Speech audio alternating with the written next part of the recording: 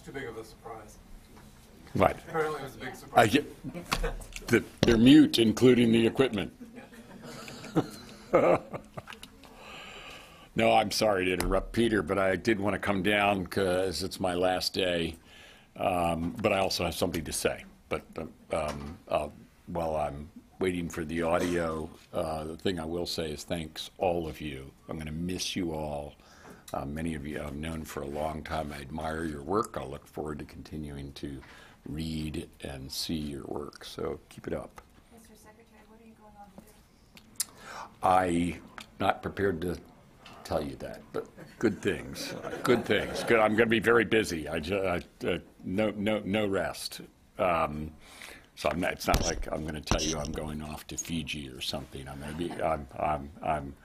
I got a busy week next week, and then thereafter, and thereafter, and thereafter. So, uh, but all good stuff. But uh, uh, uh, we've been doing a lot of farewells uh, to all the wonderful people here, and uh, you know, 35 years is a long time. I said that yesterday, so I'll miss uh, each and every person here. Here we We're all good to go, so let's, uh, let's let the secretary. We don't. Ca- cabinet members are not of the f- outgoing cabinets are not uh, part of it. So no, we're all we're obviously involved as a department in the preparations for it and making sure that we're doing everything we can. Well, good morning.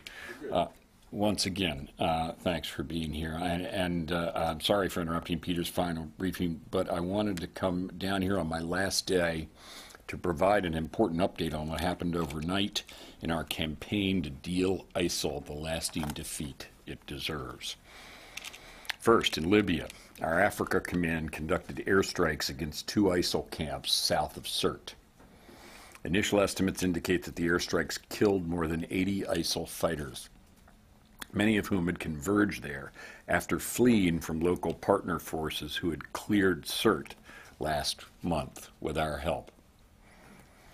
Importantly, these strikes were directed against some of ISIL's external plotters who were actively planning operations against our allies in Europe. So these were critically important strikes for our campaign and a clear example of our enduring commitment to destroy ISIL's cancer, not only in Iraq and Syria, but everywhere it emerges. While we struck in Libya, our local partners in Iraq, with our advice and assistance, managed to secure all critical areas in eastern Mosul. As they now prepare to clear the western part of Mosul, I'm confident that ISIL's days in Mosul are numbered. Meanwhile, in Syria, our local partners continue to converge down on Raqqa, and I'm also confident that they will soon have ISIL's so called capital isolated. These most recent events are a direct result of the deliberate actions we've taken since 2015 to accelerate our coalition military campaign plan that Chairman and Dunford and I put together. And they're a reminder to ISIL and many others that while the world doesn't rest from the transition here in Washington, neither does the Department of Defense. I leave this job I'm certain that the United States and our coalition and local partners will continue to build on the results we've achieved and ultimately destroy the fact and the idea of a state based on ISIL's barbaric ideology. Generated significant momentum over the last year and a half, and I'm confident that going forward, Jim Mattis and his team, as well as General Dunford, all our servicemen and women, joined by their coalition and local partners, will deliver ISIL the lasting defeat it deserves. Many of you have covered this military campaign and this department with great diligence, and I know you'll continue to do uh, so. So I want to thank you all very much. And I have time for one question, I guess, Peter says. And Bob, as our dean, you get the parting question. Thank you, Mr. Secretary. O- On the Libya action, how do you respond to those who would say that this only highlights the failure of the administration to contain ISIL, given that they're still there? Well, in uh, ISIL has little nests, uh, sometimes of people who uh, rebranded themselves, who were there already, uh, and uh, received inspiration and sometimes support. And so it's always been part of our, our campaign to destroy ISIL everywhere we find it. Uh, Afghanistan's another place, so this is a continuation of the plan. Um, uh, uh, Libya, there's a civil war in Libya, and if uh, and uh, that uh, fundamentally is the reason why ISIL is able to get a foothold there. The Libyans don't like foreigners. And I think if they could settle their own internal differences, which is a political and diplomatic matter, they they themselves make quick work of ISIL. But we uh, did these strikes as we've done other actions in Sirte and everything else we do there uh, at the request and with the permission of the GNA uh, there, and, and, and we did this as well. But we need to uh, strike ISIL everywhere they show up.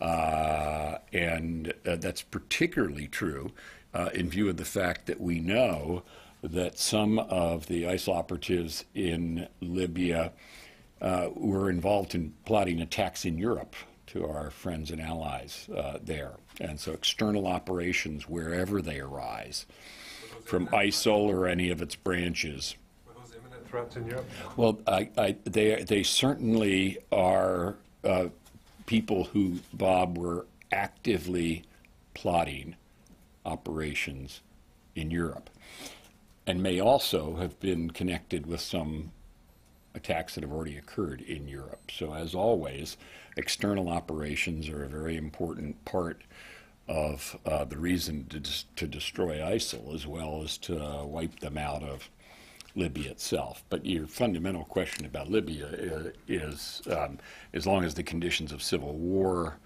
are there, uh, the Libyans don't have the unity. Uh, if they did, I think they, they themselves could make short work of ISIL. For now, under these conditions, our help is invaluable and we're providing it. So thank you all very much. I really appreciate it. Uh, and now I'll turn things over to Peter, and he's prepared to give you much more information in detail on this particular strike. Okay, why use a B-2 bomber? Well, When it Peter will tell you. Uh, Peter it was- Peter will it tell you. It was a decision made by the commanders. It was the best capability to use. There were other, there are other options. We have a vast armamentarium, um, uh, but this is what the commanders chose, and I think uh, Peter's prepared to explain that in some, some detail. That, that was his commander's reason. Sir, thank you, Okay, thank you thank for you all very much. Sir, thank you for coming, and thank you for the opportunity for me to be able to do this on your behalf. Appreciate it. No, I, I, you're laughing, Eric Rosenbach, but I'm serious. Thank you, sir. It's been an honor and a privilege. say I couldn't do this job without uh, you both as counselor and as communicator to you, so I hope you have as much trust and confidence in him as I have. I'm very, very grateful that he accepted this job, and he did it uh, far beyond any reasonable uh, expectation. I'm extremely grateful. He's a very. It's his last briefing. Test his mettle. Uh, Eric Rosenbach, keeping my uh, life interesting. Uh, listen, I do have some more to, to talk about, and then I'll open it up to, to your questions uh, today, because we do have some more details uh, to walk through. Um, first of all, I, we have a map I think we can put up to showing the location of where these camps were in relation to Sirte. Uh, again, let me walk through a few details. This uh, was uh, the United States, in conjunction with our partners in Libya's Government of National Accord. Late last night, we conducted precision airstrikes to destroy two ISIL training camps about 45 kilometers southwest of Sirte, Libya. Among those in the camps were members of uh, ISIL who fled Sirte and were attempting to reorganize. The fighters training in these camps posed a security risk to Libya, to its neighbors, to our allies in Africa and Europe, and to the United States and its interests. Our assessment of these strikes is ongoing, but the initial uh, analysis, again indicated by the Secretary, is that the, these strikes were successful in destroying these camps, and their destruction will degrade ISIL's ability to threaten the Libyan people or disrupt efforts to stabilize Sirte uh, to disrupt efforts to stabilize Sirte after its liberation. The United States remains ready to further assist the GNA in its efforts to eliminate the ISIL threat in Libya and to work with partners around the world to defeat ISIL wherever it seeks to spread. And we do have some video to show you uh, of surveillance of uh, the, one of these camps uh, in advance of the airstrikes. And if we have the ability to uh, roll some of that, you'll be able to see a little bit of what we were able to assess before these strikes took place. And again, this is video here of some of the uh, ISIL members uh, moving equipment here specifically. You'll see RPGs and shells uh, being moved in this surveillance video. And this was uh, one of the camps, again, video ahead of the airstrikes that took place. Do they have any idea they're on camera? Um, I'll leave that for you to determine. Uh, these strikes were primarily conducted by two U.S. Air Force B-2 Spirit bombers, which took off from Whiteman Air Force Base, Missouri, on a 30-plus hour round-trip mission to drop their Joint Direct Attack Munition weapons on these camps. The use of the B-2 demonstrates the capability of the United States to deliver decisive precision force through the Air Force's Global Strike Command over a great distance. And again, as the Secretary indicated, this was a decision by the commanders given the capabilities of this platform and the requirements of this particular mission. And uh, we have another video as well of uh, uh, one of the strikes as it was conducted.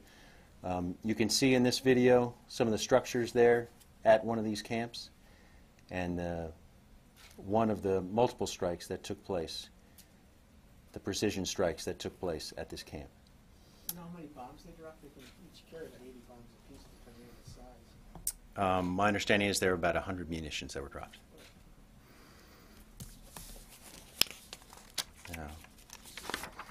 Again, these strikes demonstrate the effective use of the United States' unique military capabilities in coordination with partner nations to strike ISIL wherever it seeks to spread. At the same time, the coalition continues to accelerate the defeat of ISIL in Iraq and Syria, the parent tumor of the ISIL cancer, where we also have seen significant progress in recent days.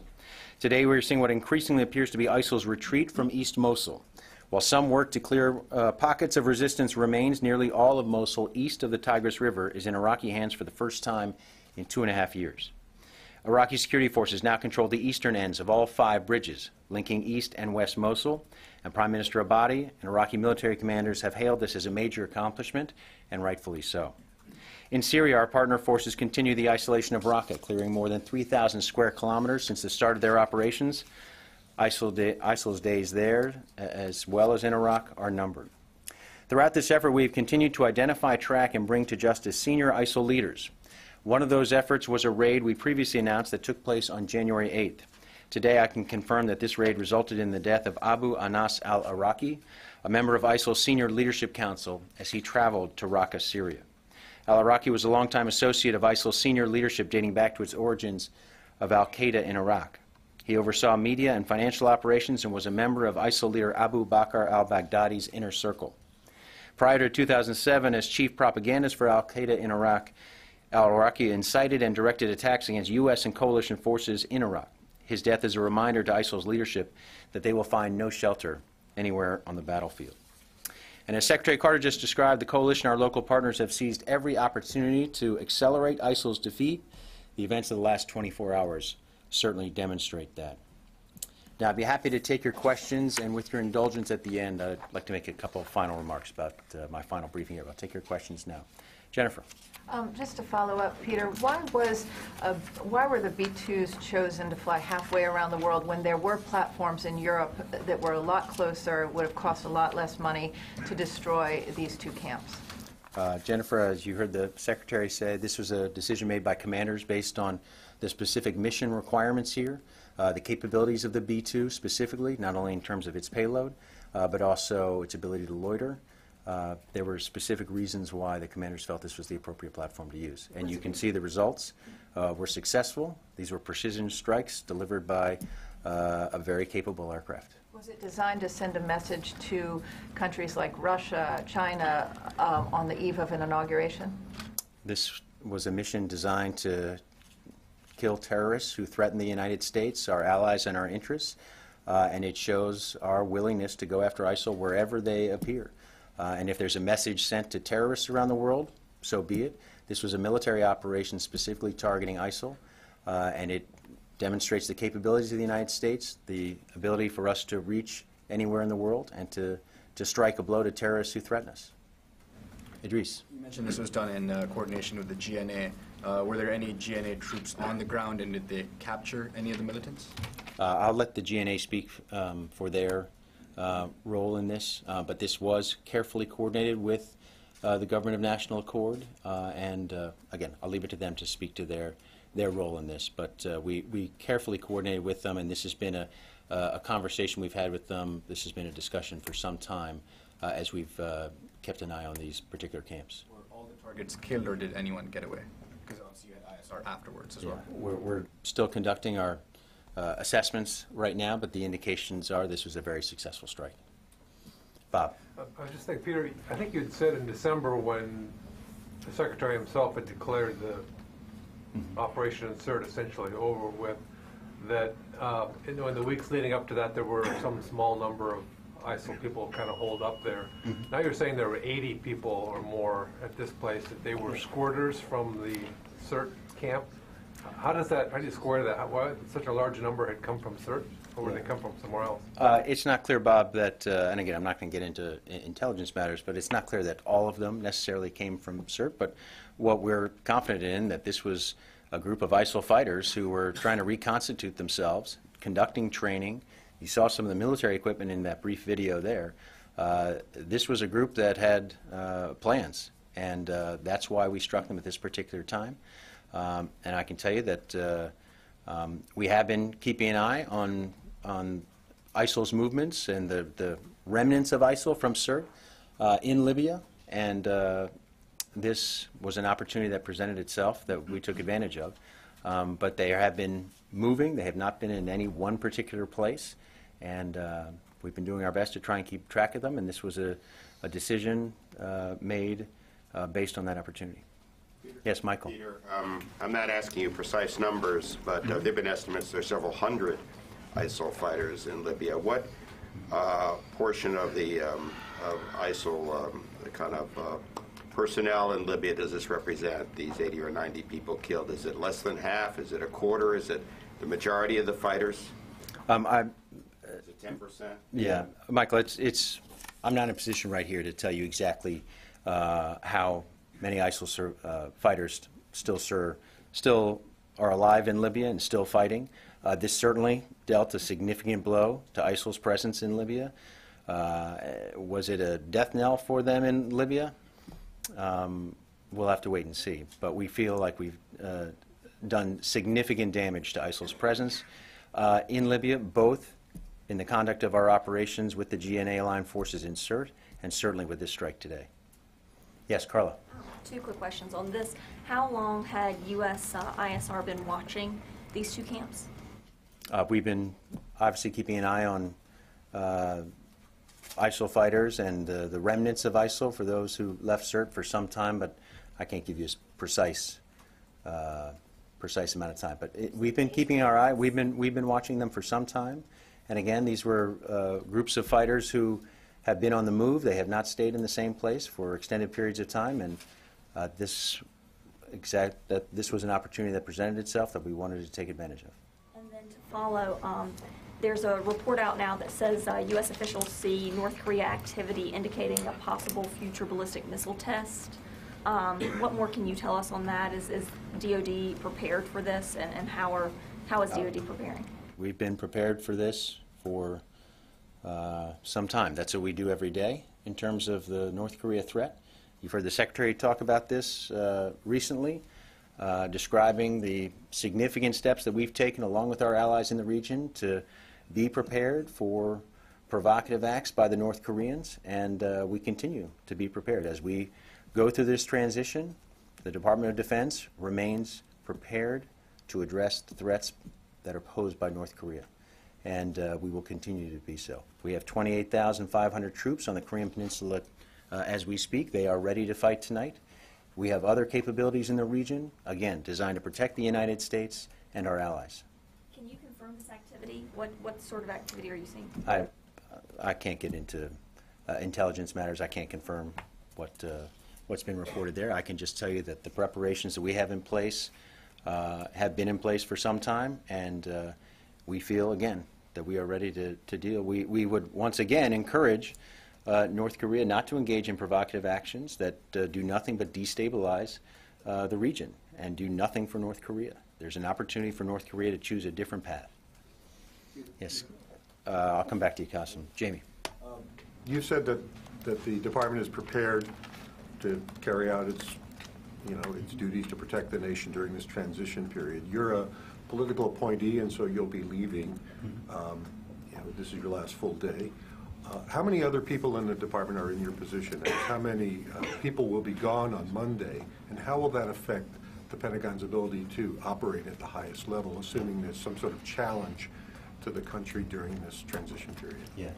Um, Let me get the precise number for you, because I'd just be guessing off the top of my head. I I have a number in- in mind, but I'm not sure it's accurate, so let me get the precise number. But uh, the reality, Jamie, as you know, for your year, your your years of covering here, is the vast majority of the people in this building um, will not be departing. Um, The continuity that uh, is here and the experience within the Department of Defense is significant. And all you have to do is look at Chairman Dunford and the uh, members of the Joint Chiefs of Staff and our combatant commanders to see that there is certainly in uniform a depth of experience that will serve this country, will serve the next president, the next administration. Uh, That is a good thing for this country. It certainly uh, adds to the continuity here in the Department of Defense. But beyond uh, those uniform members, those people who serve their country in uniform and or stand ready to defend this, uh, this country, no matter who the president is, uh, we have a significant number of civilians in this building who are just as dedicated, serving their country, very capable, very experienced, and we look to them to maintain that continuity to ensure that the American people remain protected. And I can assure you, they are ready to do that job. They have done that in the past. We have had seamless transitions in the past in the Department of Defense, and we're prepared to do the same here. So what would your message be to any potential adversary that would think that a good time to challenge the United States would be during this transition period? That would be a mistake. That would be a miscalculation. Joe, sorry, I gotta go to Cassim. Let me go to Cassim first, sorry, I promise. On above, Peter, uh, after the United States, the Russians and also British started to strike ISIS around Al-Bab. What's going on there? Do you have any update on the operations around Al-Bab? Well, as you know, Qasim, that the, uh, our Turkish ally and uh, forces uh, that they are working with closely continue to wage uh, an operation there, mount an operation against ISIL. Um, There continues to be uh, close coordination with uh, the coalition, and I can't get into every specific aspect of that uh, coordination, and I certainly won't speak for other countries. Uh, But this is part of the larger effort to, to deal ISIL a lasting defeat. And we want that to happen in Al Bab. We want that to happen in Raqqa. We want that to happen in Mosul. We want that to happen in Libya. And uh, it represents that wider effort. This has to be an effort that is applied on multiple fronts. We cannot allow ISIL uh, to have safe haven anywhere. And the more pressure is applied at the same time, the better. The harder it is for ISIL to operate, the harder it is for it to plot external attacks, uh, the harder it is to function, and the sooner it's delivered that lasting defeat. Can we say that there is a tacit com- uh, cooperation between Russians, Turks, British, and the United States down in that part of the country? I I don't know, what, what, you can call it what you want. Um, I will not speak for any of those other governments. I will just uh, speak again on behalf of the United States and the international coalition. We continue to closely coordinate our efforts there. We, uh, again, try and address, uh, make sure that everything we're doing is applying the maximum amount of pressure to ISIL on as many fronts as possible. Yeah. Yes, Barbara in the back. Oh, I'm sorry, Barbara, wait, I promised Joe. I'm losing my order here. Back to Libya, you- you mentioned, and the secretary mentioned, that in both camps, ISIS militants were planning attacks against uh, Europe. Could you have more details? Was, were they planning something against U.S. interests, or like similar attacks that, that we've seen in Paris or Brussels? Joe, uh, the secretary spoke to this. I'm going to let his words stand. I'm not going to get into, uh, not going to get into matters that uh, I can't discuss here from the podium. Uh, Just, uh, again, reiterate that this was a group that uh, not only uh, potentially posed a threat to people in Libya and certainly the stabilization of Libya, um, but we feel confident this was a group that posed a threat beyond Libya's borders as well. The reason I'm asking you this, Peter, flying two bombers from Missouri all the way, have the globe to, to Libya, uh, there should be something really uh, who has a value or something really interesting and dangerous at the same time. Uh, We had 100 uh, terrorists training in the Libyan south of Sirte.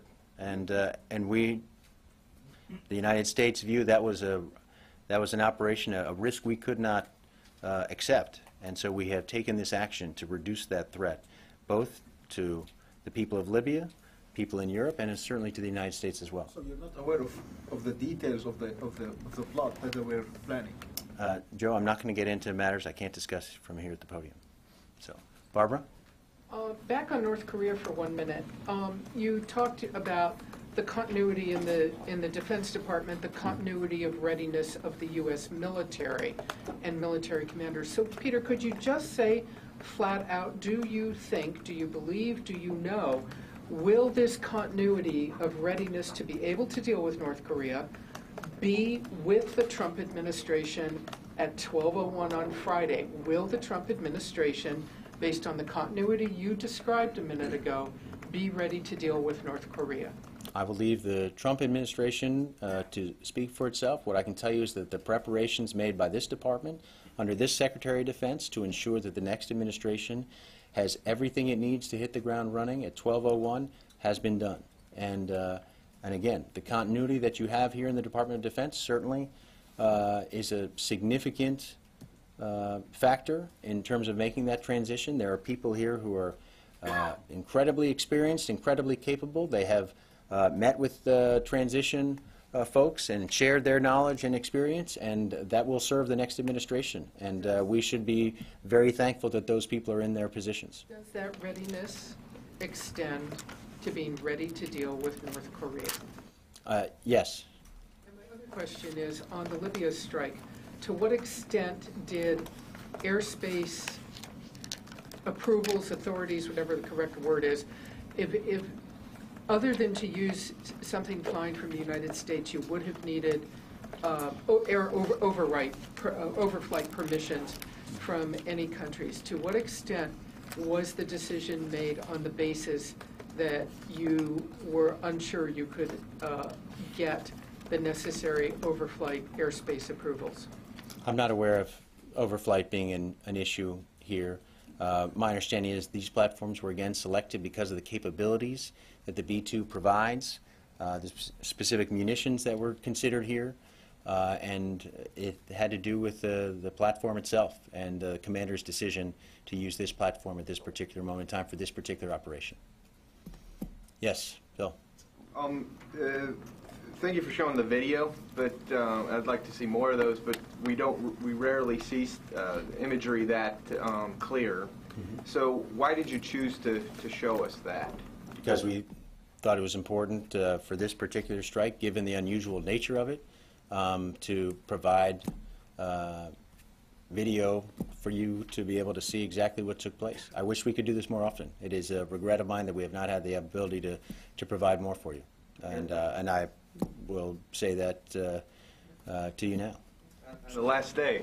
Uh, Agreed, agreed. And we've, this is something that uh, we've talked uh, to the folks at OIR about, and in most cases, that's uh, uh, where these will be released, and it's something that I s- certainly am encouraging people to consider doing more of as we, uh, as this fight against ISIL in particular continues. Can we see more in the next six hours? Um, We'll see. There may be additional images um, for you all to take advantage of, and uh, we'll talk to our folks. Other operations. Uh, We'll see, Barbara. You know, do, do you know what kind of weapons were they carrying? Was were they like man, uh, ma- MANPADS,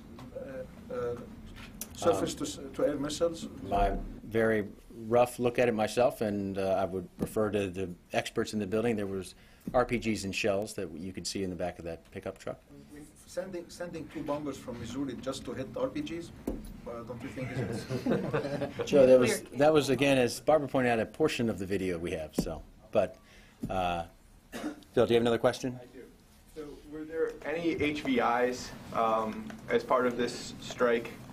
So again, we've had an initial assessment, um, and we continue to look closely at uh, the results of this uh, of this strike. So that's not something I can. Uh, we're still looking. Okay, lastly, I mean, when we first started talking about Sirte and the operation there, even before when, when General Rodriguez was, was here, he was talking about thousands of fighters. We've not seen those sorts of numbers in terms of KIA on the battlefield. So, what, where are these guys? Um, you know, are, are, are there the secretary mentioned nests of, of uh, ISIS fighters. Um, Are there other uh, of these training camps that, that uh, you're aware of? Well, I'm not going to talk about intelligence matters here, but you can be sure that if we have opportunities uh, to do similar damage to ISIL in the future, we're going to, I can't speak for the next administration, but certainly uh, that's a reasonable expectation that we would consider similar strikes in the future. Uh, Again, that'll be decisions for others to make. Um, But this was, uh, uh, in terms of the cumulative numbers, I I don't have an estimate for you right now about how many people are, how many ISIL fighters remain in Libya, but one thing is clear is that since General Rodriguez uh, commanded AFRICOM and led our efforts there, that in the time since, uh, we have done significant damage to ISIL in Libya.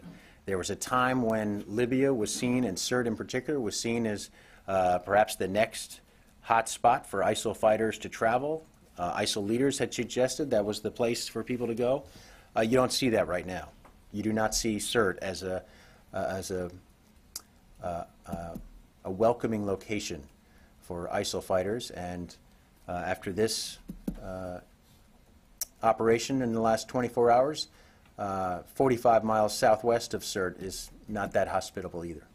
Lastly, um, on North Korea, um, the secretary mentioned last week that uh, the U.S. would be willing to, or would be able to shoot down a missile if it posed um, a threat to the U.S. or its allies. Is that still, is that still the the stance of the U.S. government?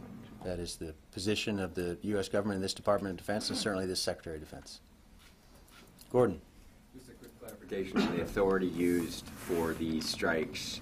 Um, Was, does this extend uh, across the entire country? And is it in effect, you know, through the duration of this administration, is it, would it technically convey to the new administration? Obviously, they can make any changes they want, but how does that, how does that work? Uh, I'm not going to speak uh, for the authorities here and what the next administration might do. All I can say is that we continue to work very closely with the uh, Government of National Accord. We're in close coordination with them about the threat that ISIL poses in Libya. Uh, We continue to have conversations even today, as you see, in in the last 24 hours. Uh, And certainly, our conversations there will be, uh, the substance of that will be something that is shared and has been shared with the the next administration to make decisions uh, that they choose to make. I'm not going to speak for the next administration. You say, though, but you can't say whether the authority has been extended to I'm- the I'm not going to discuss uh, presidential authorities from up here. Yes, Richard? Um, Can you clear up, please, uh, the report uh, last week, uh, this week, USA Today, on the uh, the airdrops to the uh, the SDF in Syria? Uh, Do they include uh, weapons and ammunition? And are those weapons and ammunition going to the YPG? We have been supplying uh, the SDF, specifically the Syrian Arab Coalition, um, for some time uh, with material support, and we continue to do that, and there's been no change. The Arab Coalition, not the YPG? We continue to, again, provide that support for the Syrian Arab Coalition. Yes? Oh, thanks, Peter. Um, Along the same lines of Gordon's question, did President Obama extend um, Operation Odyssey Lightning, or is this, did he just authorize this one operation? Uh, I'm not going to get into authorities up here. We've taken this action as an extension of the Odyssey Lightning uh, mission, um, approved by the President, recommended by the Secretary of Defense, uh, and I'm not going to get into further authorities um, right now. There's the next administration will speak to, to what actions they may take in the future, but I think what's most important is that uh, we remain very carefully, uh, closely engaged with the Government of National Accord um, with regard to the threat posed by ISIL. You mentioned this is an extension of the mission, so it's not just the, this one operation. Uh, Again, I'm not going to get into the question of authorities. We carried out this mission. It was approved by the President uh, as an extension of Odyssey Lightning. And um, again, this deals with the threat, as we've said for some time, that ISIL could continue to pose in Libya and that we would keep a close eye on it. We have done so and have carried out this strike now. So it's fair to say ISR will still continue to look for um, ISIS militants in, in Libya? We're going to keep an eye on ISIL wherever they choose to pop up or try to pop up. Tony? Couple things. When was the last time the B-2 bomber was used in a conflict to do a strike? Uh, My understanding, it was uh, during the uh, last, the airstrikes in Libya, uh, previously Odyssey Dawn. March of 2011. That's my understanding. Okay, uh, moving to another stealth fighter, not stealth plane, the F-35. Mhm. Last week, the head of Lockheed said, after meeting President-elect Trump, that she was close to completing negotiations on the largest F-35 contract to date. It's Lot 10. Last night, a wire service and a cable network uh, basically repeated the same thing, only attributed to unnamed sources, saying it was close. Uh, What's, it- we haven't heard from the Pentagon. This is a big deal. So are you close to completing these Lot 10 negotiations? Um, Tony, these, these are negotiations, as you know, uh, all too well, um, that have been ongoing for some time. Uh, every effort is being made to try and uh, wrap up those negotiations in the uh, most uh, efficient way possible for taxpayers and for the department. Uh, and those conversations are ongoing. I don't have anything to announce at this time. Do you have any sense if it's close, maybe by the end of the year, uh, end of the month, excuse me? Uh, My understanding is they are, remain focused on getting the very best deal possible, and uh, I don't have anything to announce at this time. The overall figure, last night, these two outlets used the $9 billion figure. Uh, General Bogdan, the head of the program office last month, said it was $8 billion. Uh, Can you square the circle here? Is it closer to $8 billion? I'm- I'm- We'll not get into numbers on this. If uh, General Bogdan chooses to, to speak on this, I'll leave that up to, to him, but there's nothing to announce at this time, uh, other than to say that these are, uh, have been very active negotiations. Uh, These are important negotiations, and uh, they are continuing, and uh, people are working diligently to try and, and reach a conclusion. Okay, but No end game, not, you're not going to do it by the end of the day, you're not going to announce it. Uh, Tony, I don't have anything to announce at this time. It would be a wonderful thing if they wrap things up, uh, but I can't predict how that's going to play out. Yes. Dan? Uh, Thank you, Peter. I wanted to ask about uh, the folks from Secretary Carter's staff who are staying on, uh, Deputy Secretary of Work, people like that. How has, um, I guess, identifying those people helped? And where are you at this point in terms of smoothing the transition out as all of you exit the door? Um, Well, first of all, the the deputy secretary, um, as you all know who have covered him, is someone with a depth of knowledge and experience uh, here in the in the building. Uh, So he will certainly be a a positive force in terms of continuity and making sure that the the next team gets up to speed as quickly as possible. Uh, And so it is, a- again, a indication of the patriotism and the commitment to service that uh, Bob Work has demonstrated throughout his career that he's going to, uh, has agreed to stay on for a period of time. Uh, And that will certainly help with the transition. Uh, I don't have a specific number for you in terms of uh, other people who will stay on, but uh, I think it's, uh, it's reasonable to assume that there is a small number of people who will, there are a small number of people who will be here to try and assist as best they can during this period of transition. And that uh, would be consistent with past practice as well. Is it fair to say it's a smaller number than typical? Um, I honestly don't know a comparison. Um, I, I think we are trying to uh, accommodate the needs of the transition team, and as they make requests, again, I'll leave, leave it to them to speak to how many people they're asking for, uh, why particular areas versus other areas. Um, that's really more for them to speak to, but I, I can just tell you that we are being as responsive as possible to all their requests, both for information and in these uh, individual circumstances, uh, asking if individuals be willing to stay on. Thank you. Yes, Kevin? Uh, You talk about the recommendations for ISIS troop levels that we've heard about in the press. um, That um, kind of walk us through how, how this came about. Did the Trump transition team ask for these? And we've heard reports that they include um, options for multiple combat brigades, which would be, you know, multiple meaning 4,000 times, you know, however many. Is that part of the? Are those? Is that option part of the package that has been presented? When, So- when, when is it expected to be presented? And then Uh, uh, Kevin, I'll, I'll be honest, I, I I don't think it's appropriate for me to talk about things that the Trump folks uh, may or may not have requested uh, of particularly of our, uh, the uniformed military folks. Um, I, I just, I'm not comfortable talking about things that are, those private conversations that they're having. I will leave it to them to, to describe what, if any, conversations they've had, uh, what proposals they may consider. Um, I, I would just say broadly that uh, uh, Secretary Carter has, on multiple occasions, talked about the need to constantly look to accelerate the campaign, uh, to look for opportunities where we might be able to, to do things, uh, speed the defeat of ISIL. Uh, we have done that multiple occasions, he's asked President Obama for uh, particular uh, capabilities and authorities, and uh, as he's described on many occasions, everything he's asked for, he's received. It is reasonable to think that the next administration would look at, uh, at uh, the state of the campaign and talk to the commanders on the ground. Um, I think, as you heard from the Secretary this morning, what they will hear and described from our commanders right now, particularly in Iraq and Syria, uh, is significant results. We're seeing that in Mosul. We're seeing that in Raqqa, uh, in Syria. We're seeing that dealing with the metastasis in Afghanistan and in Libya, as we've seen in the last 24 hours. Uh, but there's still a fight ahead, and it's reasonable for them to look at, at what options are out there. Um, but I think they're going to find, again, they talk to our commanders, uh, certainly the same thing that uh, Secretary Carter is hearing, and that is uh, working through our local forces, those partner forces in Iraq and Syria. We are seeing success on the ground. There is still a significant fight ahead, um, but uh, the coalition efforts enabling those local forces have proven to be successful on the ground. And uh, I think uh, any assessment that uh, is handed off to the next team, uh, they'll be able to see that and make decisions for themselves as to what the next steps might be.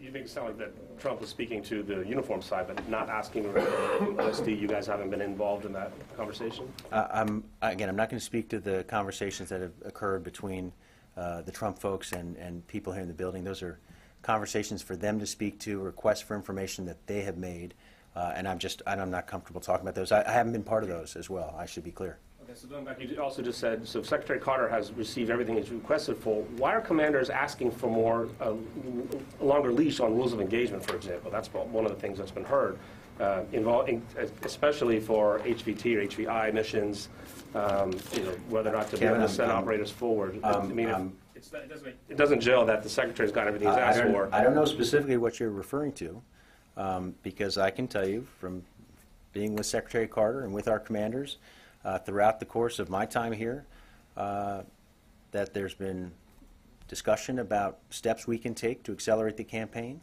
Uh, There's been a lot of uh, back and forth about the most appropriate steps, and recommendations have been submitted. Uh, Requests have been made of uh, President Obama, and as you've heard Secretary Carter say, everything he's asked for, he's received. Uh, And again, it is perfectly appropriate for the next team to take a look and to see if there are additional steps that could be taken to accelerate this campaign. Secretary Carter would support that. The co, has the, co-coms, General Votel, um, has he received everything he's asked for? I'll leave General Votel to, to speak for himself.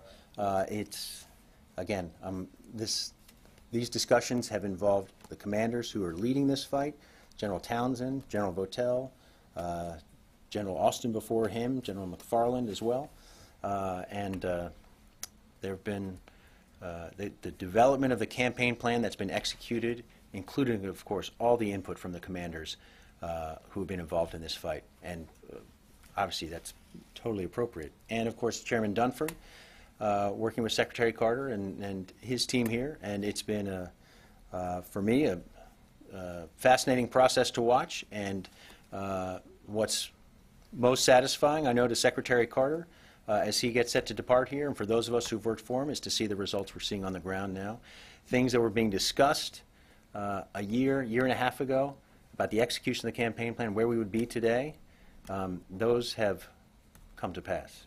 Uh, and it's very satisfying. It's a testimony to the commanders who have led that effort, certainly to our men and women on the ground who have enabled those local forces, but it is truly a testament to the Iraqi forces, uh, Prime Minister Abadi, uh, and the efforts they've made. They have been leading this fight uh, successfully. There is plenty more to do, and the coalition has an important role to play. The United States has an important role to play going forward.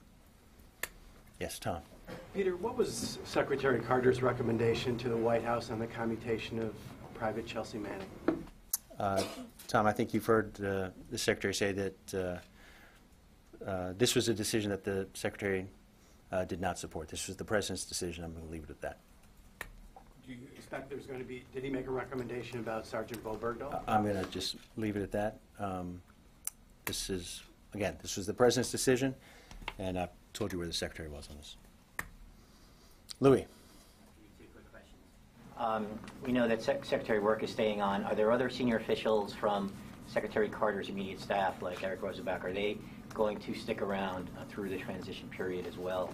Um, I mean, are there other senior officials like Debbie James, who is also uh, expected to stick around for a short I, time? I don't have a list for you right here, uh, Louis, but there certainly, as I told Dan, uh, there will be some uh, people who will serve in a transition role. I don't, it, it- I don't have the list in front of me. Um, But in terms of, uh, you mentioned specifically uh, Eric Rosenbach, um, Eric Rosenbach will not be serving uh, through the transition period, um, but has played a, a- obviously a critical role in terms of trying to facilitate our transition, try and make sure that uh, things move as smoothly as possible. follow up on the earlier questions about the presidential authorities for Odyssey Lightning. Uh, In the past, we have, you have spoken about um, what limited, how they were kind of limited to the Sirte area. Can you kind of expand for us, please, if you could, uh, This- how it could, why you're not talking about them now, and if there has been an expansion of the earlier authorities, which Well, you as, did as I mentioned, the, the specific authorities before, um, uh, again, I'm not going to get into uh, every detail here. This was a presidential, this required presidential authorization. Uh, That was, that was granted by uh, President Obama at the recommendation of Secretary Carter and also at the recommendation of the commanders. Um, And this action was taken. I'm not going to speak for what actions the next administration may take. Obviously, we're at the end of uh, this uh, administration, um, and, but this is a fight that's going to continue, and they'll have to make their own decisions going forward. And that they're going to need to be readjusted by the the incoming administration. You should, you should infer only that they will make their own decisions about policy, including our policy dealing with the uh, ISIL in Libya. Yes, Hans? Just on the timing, when was the presidential authorization given? Uh, It was earlier, let me double check, but it's been within the past few days. Within the, past, and then with the video that we saw from the platform, A, what was the platform, and B, when was that video taken? Okay. Uh, I'm not going to discuss the platform, but it was ahead of the strike, um, obviously, uh, and I'd say within the past few days. If you could get back to us on just when the presidential authorization came, that'd be helpful. Okay. Gary? Just on, on the Libya strike, it's, it seems a little curious. The, the, these two bombers flew from the Midwest to North Africa. Mm-hmm. You say they dropped more than 100 munitions to kill 80 people. You say they have a lurking capacity. What were you look, were you waiting for someone for something? What, what were you? What, what was the? Was there another target apart from the two camps? Was there an individual target? This was a, uh, an operation, Gary, that was thought out well in advance. Uh, It was presented as an opportunity when this, uh, this particular location, when they remained at this particular location. So this was a capability specific, specifically for this operation, for this moment in time. Uh, And the ability to loiter, again, would give the opportunity for these aircraft to potentially conduct additional strikes. Uh, And that was something that the commanders felt was uh, appropriate and, and would be a, uh, a capability that, uh, if needed, would be, would be, could potentially be utilized. So that's, uh, that was just one more reason why these particular platforms were used. Were the um, sites adjacent to any villages, civilians at all? They were in a very rural area. And were you waiting for someone in particular? Um, As I said, we're still assessing. We, I'm not going to get into all the, everything that went into this strike and, and our development of this particular target. Uh, We're still assessing the results of the strike, uh, and uh, I think the Secretary spoke pretty clearly about uh, the threat we feel that this, these particular groups of fighters uh, pose not only the people in Libya, but beyond. Yes? Um, with reports about North Korea readying ICBMs, I'm wondering if there's been an acceleration in that deployment, just based on North Korea's tempo in testing. Yeah, uh, the effort to uh, establish the THAAD system in uh, Korea continues, uh, and we are working very, very closely with our South Korean allies, but I don't have any particular update in terms of uh, the schedule and timing. Yes? Um, On organizational matters, the NDAA was approved very late in the outgoing administration and had a number of requirements such as the breakup of AT&L, the elevation of Cyber Command, and some restrictions on DIUX. Has, did this team start doing any of the groundwork on that, or has that all been left for the next team to take on? Uh, I mean, I'll just talk more broadly. I- In terms of the individual provisions of the legislation, uh, obviously the department will be prepared to carry out what's in the NDAA, uh, but I'm not aware of specific steps taken in the short term to deal with those. Uh, My understanding is some of those provisions do not necessarily take effect right away. Uh, As much as, as, as a year for delivery of evaluations of doing it, but again, just trying to see if, if any of that was started, or if it- the sense was so late at this point, just let, let the new guys pick it up. Well, there's only so much we could do between the uh, passage of the NDAA and, uh, and the Secretary's departure here. But as I mentioned before, there are lots of people who are remaining in this building who will be prepared to carry out uh, this act of Congress, and, uh, and, but I'm not aware of specific steps that were taken. I'm not aware that there weren't any, I just, I honestly don't know. Lucas? Would the Secretary like to see Sergeant Bo Bergdahl pardoned? Uh, Lucas, you know that's an ongoing uh, legal matter at this point, uh, and I don't think it'd be appropriate for me to comment here. The Secretary doesn't have an opinion either way? The Secretary would like to see the justice system work its course. Yes, Kim? Is it a disappointment for the Secretary to be leaving office with um, Baghdadi still out there? And also, have you seen any signs that either Iran or China are moving anything in terms of Navy ships to take advantage of this flux during the transition? Uh, Let me take the first part of your question. Uh, I think, I'm not sure disappointment is the word. Uh, I think certainly the Secretary uh, and has expressed this, that uh, targeting ISIL leaders, particularly Baghdadi, has been an important part of our efforts uh, and will continue to be. Um, We are actively looking and doing everything we can uh, to degrade ISIL's ability to, to organize, to plot external attacks, to be able to uh, cause more trouble in Iraq and Syria, and part of that involves targeting its key leaders, including Baghdadi. And uh, I am quite confident that that will, effort will continue uh, even after the Secretary steps down. But, uh, uh, so, that's, it's, it has not happened on, uh, as of yet, but we remain confident that that's, that's an effort that uh, eventually will be successful. Yeah, uh, I don't have anything in particular to, to report on that. Bill? The reason that uh, uh, sec- the Secretary opposed Manning's um, commutation, was it because he thought that it would make leaks more likely in the future? Uh, I'm not going to get into the reasons the Secretary made his recommendation to the President. The President has made his decision, and uh, the President's decision is, is what's final here. And lastly, General Waldhauser, does he have authority to strike ISIS outside of Sirte again? I'm not going to get into presidential authorities here. Uh, I'm going to just tell you that we have uh, an ongoing conversation with, uh, with the government of National Accord about the ISIL threat and about their efforts to stabilize uh, Libya. We're going to continue that conversation, and you can be sure that General Waldhauser and his team uh, will remain uh, vigilant in watching the ISIL threat in, uh, in Libya. Lucas.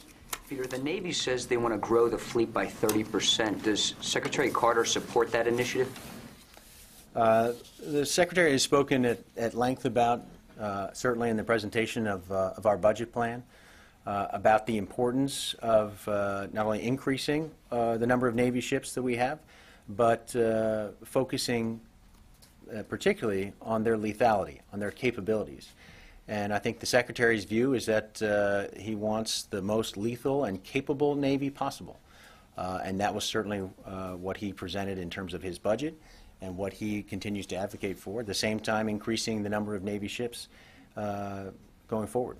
And uh, capability over platform, I think that's what Secretary Carter believes is most important.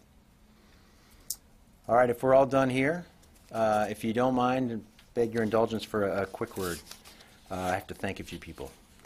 Uh, This is my last briefing here at the Pentagon, and I, uh, I think you all know that uh, this is not a one-man job by any means. There are a lot of people inside and outside the department who have supported me, and that starts uh, with our guest uh, earlier today, uh, Secretary Carter. Uh, It's been an honor and a privilege to represent him and the men and women of this great institution. It has been an incredible experience for me uh, to be up here, and I'm thankful for Secretary Carter's confidence in me and for giving me this opportunity to serve in this uh, fashion.